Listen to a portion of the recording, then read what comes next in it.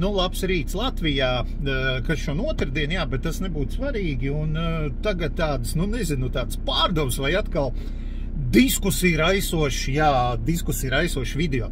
Var sakot, man te kaut kad divas dienas laikam atpakaļ, vai kur viens kaut ko atsūtīja, nu, man visādi, daudz cilvēku visādi sūd, sūd. Lielāko daļu es pat aiznodzēju es pat nezinu, kāpēc es to apskatījos. Un bija, jā, tur kaut ko lapsa, jā, nu tas, kas mums lato laps, es nezinu, kas viņš saucās, kas viņš pēc papīriem skaitās, jāzina, tur publicists, žurnālists, huj, viņš zina, jā, rakstnieks, nu, pofīgi nebūtu svarīgi. Un, un man tagad prasa, jā, ko domāt tur pa laps un zālīt. Es domāju, ko tas tur zālīt sāc pīpāt, bļaļ, vai ko pilnīgi pohuj. Nu, tu gribi, es zinu, kā viens kožvietas, bļaļ, kokaīna arī pohuj. Nu, nu, grib zālīt pīpā, izrādās, nē.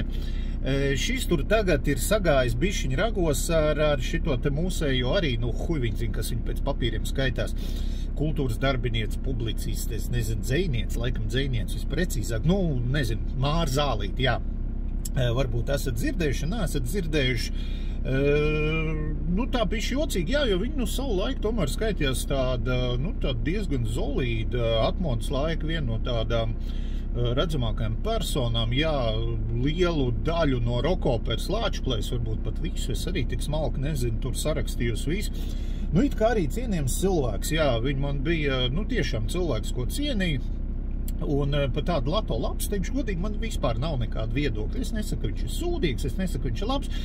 Es nepazīstu personīgi nevienu ne otru, jā, nu pēc tā, ko es tur redzu, man liekas, ka tas labs ir tīri normāls čomaks, jā, un viņš ir sarakstījis atkal grāmatu viltvārds, jā, par šito te mūsējo, nu, mūsējo jefiņu, kas tagad saucās prezidents, jā, Egilu Levitu, un Arī atzīšos godīgi, to grāmatu neesmu lasījis. Jā, negribu tēlot gudrāk nekā es esmu lasījis. Es viņu neesmu, neesmu lasījis vienu iemeslu dēļ, jo es viņu nevarēju dabūt. Jā, jo droši vien, ja tur iet uz kaut kādu biblioteku un tur piesakās kaut kādā rindā vai vēl kaut kur iespējams var dabūt, jā, bet es viņu neesmu lasījis. Bet tur, cik es noprotu, jā, nu par to mūsu Regiju Levitu ir, nu tā diezgan, diezgan tāpat kā es uzskatu, jā, ka viņš, nu, prezidents nav cienīgs, jā. Es pat saprotu, ka tai grāmatai vairāk, ka viņš tur ir, nu, riktīgais zuksters, jā, ka viņš patiesībā nevis tā, ka viņš man vienkārši nepatīk, bet, nu, ka viņš tur sūdz taisīs, jā, ka viņš tur raujās pie vāras un tā. Nu, un tagad, jā, tur tā galvenais stāsts ir tagad, ka tam lapsam iznāk vēl viena grāmata, jā, kaut kāds tagad nepateikšu precīzi, bet, nu, viņš teica, burtiski kaut kādu mēnešu pusotru ietvaros. Jā, ķipa ne tā kā otrā daļa vai papildināts izdevums.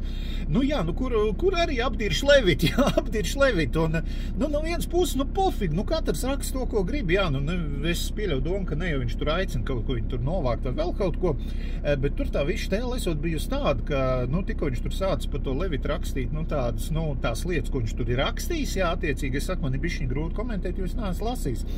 Nu, čau, tur sāk ņemt, nu, pa visu, pa pilnu programmu, jāzina, ka pa labu un pa kreisi, ka šis iziet uz balkonu, uzpīpēt, bļaļ, dīrs jau sāp, jau ir izpiss, jā, bļaļ, jau zina, ka jau viens jau no aizmugurs, piedodiet, es, es Pēters no drošības dienas man vienkārši teica, jūs izpist, jā. es saku, nu labi, nu ko darīt, nu pīs, bļaļ, zina, ka tikai atļauj vazelīt, bišķi iemest dirsā. Nu jā, nu var sakot, štēl tāda, ka viņi tur, nu, ņem no priekš, no pakaļas. Tādā ziņā, nu, Es saku, es atkal neesmu tajā virtuvē, nu, tur padziļināt iekšā, bet, nu, negodīgi. Tas ir negodīgi, jo, teiksim, godīgi. Nu, nu, nav mums prezidenta, nu, nav, nu, nav. Ja visu to pašu, un tagad atgriežamies pie tās pašas zālītes, jo Lato labs viņu nosauc, nu, pa šito dirslaižu pa lielam, jā, nu, zin kā, vadošās elites dirslaižu, un šajā gadījumā es pilnīgi piekrītu, jā, ja kādreiz man Māra Zālīt bija kaut kāds, zin kā, tāds neatkarības kustības etalons, pēc tā, ka viņa lielie kariņu, jā, nu, nu, viņa, nu, man vispār ir nokritus zemāk pa zāli, jā, zemāk pa pašu savu uzvārdu viņa nokritus. Paskaidrošu, kāpēc. Jā, labi, ievēlēja tur kāriņu un tā tālāk. Mēs nezinājām, kas tas par cilvēku. Jā, tāpat, ka vēlēja prezidentu, jā, kad vēlēja, kas tur bija Levits, bija, tad bija tās satversmes sargs, tas uzvārds izkritis no, no, no prāta. Man likās, ka ļoti labi, nu, tā kā kandidāti prezidentam. Es biju priecīgs, ka Levita ievēlēja, jo viņš arī bija, nu, pazīstams, normāls, kā saka, Eiropas tur tiesās strādājis un tā tālāk. Likās inteliģents, gudrs cilvēks.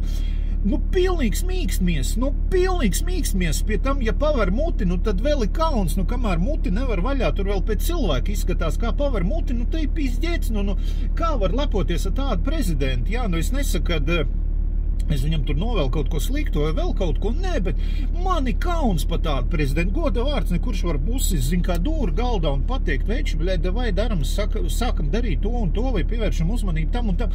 Pilnīgs ielikts ieliktenīts, no pilnīgs tā, lai var kruķīt. Tas pats par to zālīt, nu, Māra, nu kā, nu, nu es saprotu, nu, ievēl jaunu cilvēku, viņš var patikt, viņš var nepatikt, nu, dodam laiku, jā, nu, pat ja nepatīk, ir, ir bijuši man gadījumi kaut kādi, nu, no personīgās pieredzes, ka cilvēks, kas man nepatīk, pēc tam ar viņu kaut kā padarbojies kopā vai kaut kāds, nezinu, ģēles pakruķi vai kur, viņš var būt kā cilvēks, nu, tāds, bet viņš ir normāls, nu, normāls cilvēks tiešām, jo, zin, kā vajadzētu, es viņu aizstāvētu, tāpēc, ka viņš, nu, ir pierādījis, ka ir normāls. Kas var būt normāls kariņā, bļaļ? Nu, kas var būt, nu, pilnīgākais zābaks, pilnīgākais, kas ir pret Latvijas interesēm? Nu, saki, ko gribi, bļaļ, nu, viņš ir pret Latvijas interesēm. Tas pats Levit, nu, bļaļ, viens bija skolotājs Minsterē, otrs skolnieks, bļaļ, divi āboli satikās, bļaļ, jā, pizdiet, zin, kā Ņūton likums, bļaļ, ap divu krīt un sakrit kopā. Nu, kā var cienīt tādu, jā, nu, un tagad, ja man tagad arī atbildot uz to jautājumu, kura pusē es tur esmu, jā, jo tur zālīt pateica, tu neizmantos tur kaut kādu manējo dzējoli savā grāmatā, labs pateicīja, tu dirzini, ka pareizi izdarīji. Šai gadījumā es esmu totāli lapsas pusē, totāli saku, nepazīstot īsti nevienu, ne otru, bet, nu, bļaļ, nu, nav nekas man pa zālīt labs tagad sakāms, nu, nekas nav labs sakāms, jo, nu, goda vārds tāds sajūta, ka tur, bļaļ, katru rīt, zin kā, vai, bļaļ, kur man te tuvākais valdības vīrdē palaizīs dīras bišķiņā. Goda vārds šitā, te tā kā Es, protams, arī saprotu, ka labs tagad no savu grāmatu grib pareklamēt, tas viss ir normāli. Es saku, kad izdod grāmatu reklamēt, tas ir pilnīgi normāli štēli, jā. E, bet tai pašā laikā, jā, kura pusē es esmu, es domāju, ka viennozīmīgi labs pusē, jo, nu, mēs gribam palasīt, kas tur ir, jā, e, šito grāmatu mēģināšu no nākamo, kas iznāk, nenogulēt, nopirkt laicīgi, jā, lai pēc tam nav, zin, kā jāskrēj pa bibliotekām, jāmeklē vai vēl kaut ko, nu, ko es principā arī nekad nedaru. E, tā kā tā, jā, nu, skatīsimies, iznāks tā grāmata, kā tur čali pisīs tālāk, tālāk, jā, kā tur viss izvērtīsies, bet es saku, šobrīd, eh, ja man prasa konkrēti jautājums, bija kura pusē, tu esi nu šobrīd viennozīmīgi, es esmu labs pusē, eh, bet tai pašā laikā, nu jā, nu kā es saku, man šitie te vidiki ir, ķipa, eh, komentārs raisoši, tad, nu, kā jums liekas, jā, nu kurš, kurš, teiksim, ir kam ir taisnība, ja zinat, pa ko ir runa. Ja nav runa, nu tad palasieties tagad, jā, tās grāmatas iznākšana, un tur tagad skaidrojas, kurš tur, kurš tur ir pareizais, kurš tur ir nepareizais. Kaut kā tā, jā. Vienkārši, nu tā padomāju, un nu, šis ir mans personīgais viedoklis.